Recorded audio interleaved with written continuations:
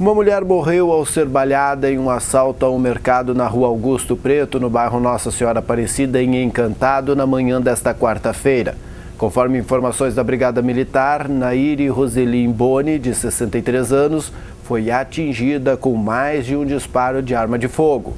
Ela foi conduzida ao Hospital Beneficente Santa Terezinha, mas não resistiu à gravidade dos ferimentos.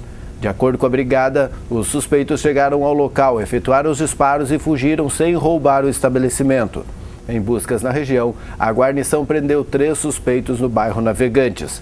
Com eles, foi encontrado um revólver calibre 38 supostamente usado no crime. Eles foram presos e encaminhados à delegacia de polícia de Encantado.